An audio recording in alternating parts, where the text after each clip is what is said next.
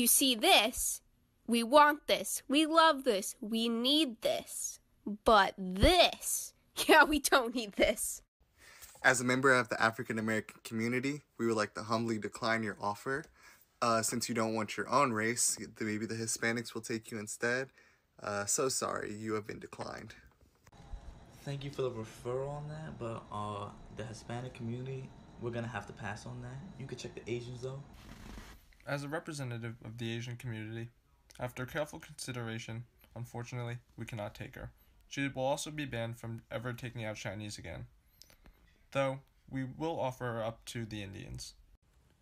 After a not so thorough examination and as a member of the Indian community, we would also like to humbly deny this offer.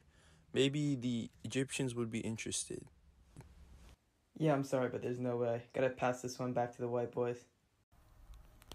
No,